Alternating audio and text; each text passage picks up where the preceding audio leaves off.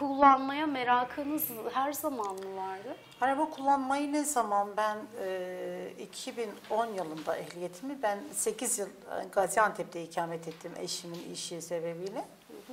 Ben oradayken e, çocuklar küçüktü sürekli hastalanıyordu. Araba olmayınca sıkıntılar yaşıyordum. Eşim dedi canım sen ehliyet çıkar ben sana araba alırım.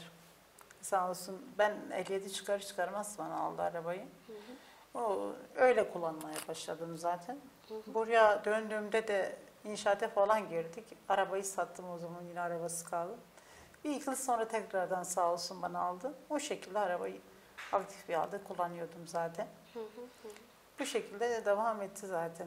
Meslek haline getirdik. Evet. Peki aile içerisinde yani evinizde nasıl birisiniz? Evinize zaman ayırma konusunda sorun yaşıyor musunuz? Tabii ki ilk başlarda çok sorunlar yaşadım. Çünkü çocuklarım küçüktü ben Çünkü bu yedi çocuklu Evet, bir ailede Yani- bulunduğunuz için büyük bir sorumluluklarınız da vardır. evet. büyük kızım tek evliydi o zaman ben bu işe başladığımda. Öbürleri liseye gidiyordu mesela, ortaya gidenler vardı. Ee, Şimdiki küçük kızım iki buçuk yaşındaydı. Oğlan ondan bir yaş büyük, tek yaş büyük. Yani hem ev idaresi hem iş yaşamı arasında nasıl geçiyor hayatınız? O zamanlar dediğim gibi çok sıkıntılar yaşadım. Bir ev, ayağım evde çocuklarla ilgilenmek. Çoğu zaman onlarla kendimle götürüyordum. Ee, çoğu zaman da şeye bırakıyordum. Artık üçüncü yaştan sonra- onları kreşe hazırdım ki hani iş saatinde şey olmasın. Bazen çocuklar geliyordu evde yemek yok. Anne diyordu biz eski hayatımızı özledik. Geldiğimizde sen sofrayı koyuyordu. Şimdi o yok mesela. Ee, onlar da çok sıkıntılar yaşadılar. Onu gibi. nasıl çözdünüz? Nasıl hallettiniz? Nasıl hallettim? Bazen işte bir kızım büyükten sonra artık o Kızınızdan mı yardım kızımdan yardım alıyorum. Şimdilik de kızımdan yine aynı şekilde yardım alıyorum. Kızım sen de onlar evinin işlerini falan yapıyor, toparlıyor. Ben bir şekilde çalışıyorum yoksa zorlu bir süreçti. Hı. Yani e, yapmayı istediğiniz meslek bu muydu yoksa hayat şartları mı sizi bu mesleği seçmeye biraz da yöneltti? Hayat şartları. Yani çünkü e, benim yapmak istediğim meslek değildi. Neydi hayaliniz? Evet. Eğer Ben bunu yapmıyor olsaydınız ya da seçme imkanınız olsaydı ya Öğretmen. da hayat size farklı imkanlar sunabilseydi. sunabilseydi öğretmen olmak isterdim. Öyle mi? Ben çocukları çok severim. Öğretmen olmayı çok isterdim. O çocukları böyle küçük yerine gitmeyi, şey yapmayı çok isterdim. Hı -hı. Evet yani taksi şoförlüğü sizi e, şu aşamada memnun eden bir meslek mi değil mi? Yani şu anda mesleğimi seviyorum. Öyle diyeyim size. Yani, Yani ekonomik destek sağladığı için mi yoksa bir meslek olarak bir sevdiğiniz meslek için olarak mi? artık. Çünkü çok şükür şu anda ekonomik durum nasıl desem size. Eşim e, çalışıyor. Hani e, çok da değil. Nasıl diyelim? Geçinebilecek durumda. Hani muhtaç olmamak babında. Elhamdülillah sıkıntı değil.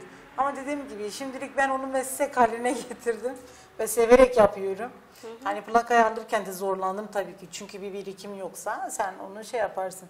Sağ olsun eşim destek çıktı dedi. Tamam canım ben sana yardımcı olurum, borç alırım, sonra öderim. Bu şekilde e, beni kırmıyor Allah razı olsun. Destek çıkıyor sürekli bana. O konuda şanslıyım. Evet. Diğer taksi şoförleriyle peki ilişkilerinizi geliştirebildiniz mi? Onlarla e, nasıl bir ilişki kurdunuz ya da Çok onlarla şükür, hiçbir sıkıntı yaşamadım. Size Evet, destekleyici mi davrandılar yoksa daha mı farklı? Öncekilerle hiçbir muhabbetim yoktu. Birkaç kişi dışında, Mahmut abi, var, birkaç kişi dışında tanıyordum onları. Nasıl e, bazen müşteri konusunda pa- paslaşıyorduk. O yetişemediyse ben giderdim. Şimdilik de arkadaşlarım öyle. Yani ben hiç kimseden hiç kıskanmam, şey yapmam. Hepsi benim abim, kardeşlerim. Onları o yüzden şey görüyorum, o şekilde görüyorum. Nasıl bir Ben- ortamı var? Biraz bize bahseder misiniz? Ortamlara girmiyoruz zaten. Ha, girmiyorsun. Yok ortamlara girmiyoruz. Yani ben şu anda Hani her Kur'an-ı meslek grubunun belli bir e, ortak alanı vardır, belli bir çalışma alanı vardır. İşte Onların işte- oluşturduğu bir arkadaşlık vardır. Böyle bir arkadaşlık geliştirmediniz mi? Yok canım onda, onda yok. Şu anda dediğim gibi daha yeniyiz. Ee, WhatsApp grubumuz var. Orada da sıkıntılarımızı dile getiriyoruz. Ee, O müşteri, zaman siz bireysel olarak Şu anda bireyseliz durağımız açılana kadar. Değil mi? yani durağımızı bekliyoruz Allah'ın izniyle. Evet bir durağınız olursa ama daha ha, farklı aynen, olacaktır. daha farklı olacak. Çünkü durakta bekleyeceksin. Değil mi? Orada o bir zaman Hı müşteriyi beklediğin zaman da illaki.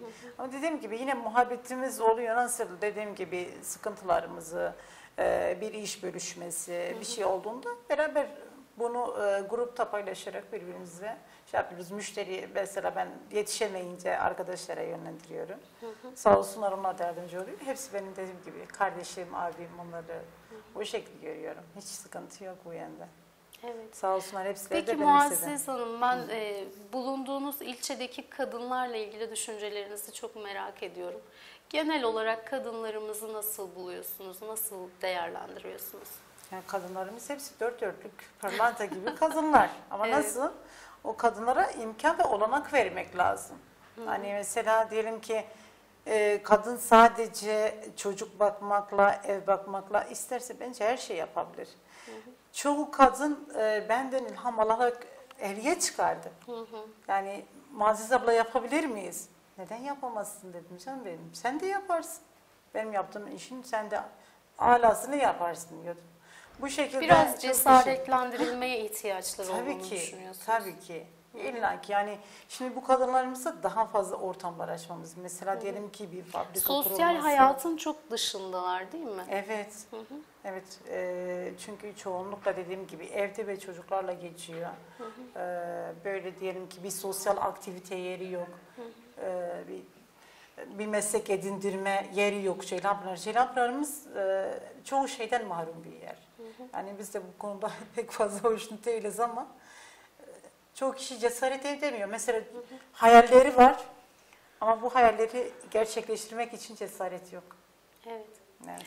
Peki onları cesaretlendirmek için onlara nasıl bir tavsiyede bulunmak istersiniz? Ben sürekli diyorum onlara. Mesela yapmak istediğin şeyi yap. Yani hiç eşinle danış ama beraberce. Dikine gitmeden fikriniz beyan et. Söyle. Yani ben şunu yapmak istiyorum. Fikrim şudur. Fikrini beyan et. Ondan sonra destek çıkarsa inşallah da destek çıkarlar eşlerine. Çünkü gerçekten bayanın yapmayacağı hiçbir şey yoktur bana göre. İsterse her şeyi yapar. yani dünyayı cennete de çevirebilir kadınlar. Gerçekten bu konuda ben böyle fikrim bu yönden. Kadınların her şeyi yani onların ellerinin altında. Çünkü cennet ayaklarının altında kadınlar. Evet. Muazzez Hanım çok teşekkür ediyoruz Rica programımıza Sağ olun, katıldığınız için. teşekkür ederim. Ee, bizimle hayat deneyiminizi Sağ olun, paylaştığınız için. cümlenize. Teşekkür, Teşekkür ederiz. ederim. Programımızın sonuna geldik. Ee, bir başka konuğumuzla tekrar görüşmek üzere. Hoşçakalın.